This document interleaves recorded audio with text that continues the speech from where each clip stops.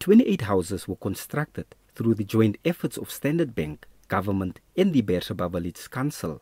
I am urging business business people to look after their employees, especially big companies, to come to municipalities to negotiate and to build houses for their work for their workforce.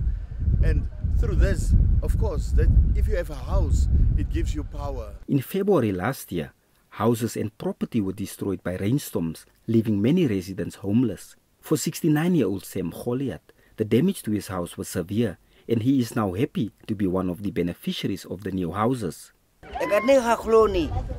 I was so happy when I heard that we will get houses that will be built through the Shack Dwellers Federation.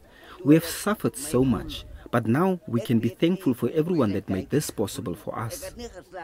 Klazen was joined by the Minister of Poverty Eradication and Social Welfare, Zephania Kameeta, at the groundbreaking ceremony where 22 new affordable houses will be built by the Shack Dwellers Federation. Natangwe Jimmy NBC News, Berseba.